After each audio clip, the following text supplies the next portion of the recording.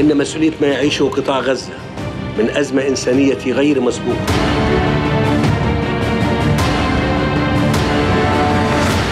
تقع مباشرة على الجانب الإسرائيلي وهي نتاج متعمد لحرب انتقامية تدميرية ضد القطاع وأبنائه وبنيته التحتية ومنظومته الطبية. يتم فيها استخدام سلاح التجويع والحصار لجعل القطاع غير قابل للحياة.